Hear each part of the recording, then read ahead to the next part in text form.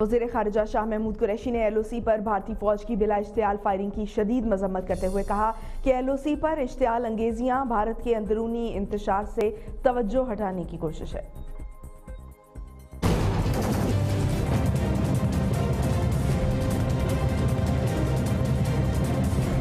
وزیر خارجہ شاہ محمود قریشی کا اپنے بیان میں کہنا ہے کہ بھارت کے عوام نے مودی سرکار کی انتہا پسند سوچ کو مسترد کر دیا ہے۔ مودی حکومت خطے میں امن و امان کو تہوبالا کرنے پر تلی ہوئی ہے۔ جنگی جنون میں مبتلا بھارت سرکار کی شرنگیزیوں کا دنیا نوٹس لے۔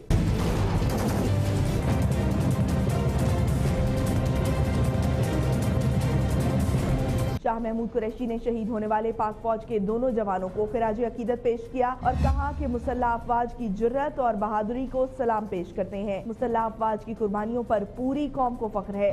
بھارت کسی بھول میں نہ رہے۔ پاکستانی مسلح افواج ملکی دفاع کے لیے مکمل تیار ہیں۔ قوم وطن عزیز کے تحفظ کے لیے پاک فوج کے شانہ بشانہ کھڑی ہے۔